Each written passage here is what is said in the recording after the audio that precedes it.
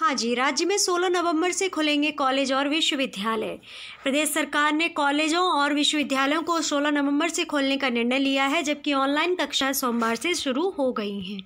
Okay, प्रदेश सरकार ने कॉलेजों और विद्यालयों को 16 नवंबर से खोलने का निर्णय ले लिया है, जबकि क्या हुआ है कि ऑनलाइन क्लासेस जो हैं, वो सोमवार से ही शुरू कर दी गई हैं। हरियाणा के उच्चतर शिक्षा विभाग के प्रवक्ता ने बताया कि महाविद्यालयों व विश्वविद्यालयों के विद्यार्थियों को ज़रूरतों, विद्यार्थियों की ज़रूरतों को देखते हुए राज्य सरकार ने स्टैंडर्ड ऑपरेटिंग सिस्टम मतलब कि एसओपी के दिशा निर्देशों के अनुसार सोलह नवंबर से सरकारी एडिड व स्वपोषित महाविद्यालयों व विश्वविद्यालयों को खोलने का निर्णय लिया है। उक्त संस्थानों में शैक्षणिक स्टाफ उपस्थित रहेगा।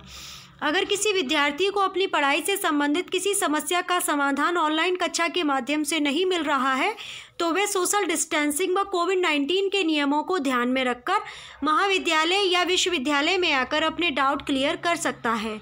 उच्चतर शिक्षा विभाग ने ऑनलाइन कक्षाएँ भी शुरू कर दी हैं और इस बात का जो डिक्लेरेशन है वो हरियाणा के सीएम मनोहर लाल खट्टर जी के द्वारा आप देख सकते हैं उनके ट्विटर हैंडल पर उन्होंने ट्वीट भी किया है, जिसका हमने स्क्रीनशॉट यहाँ लगाया हुआ है।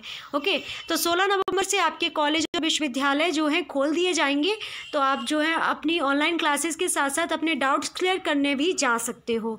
ओके तो ये जानकारी आपको फ्रूटफुल लगी होगी तो लाइक कर दीजिएगा चैनल को सब्सक्राइब ज़रूर कर लीजिएगा और बेल आइकन को भी प्रेस कर लीजिएगा। आप सभी का बहुत बहुत धन्यवाद वीडियो वॉच करने के लिए। Don't forget subscribe like and comment and share okay thank you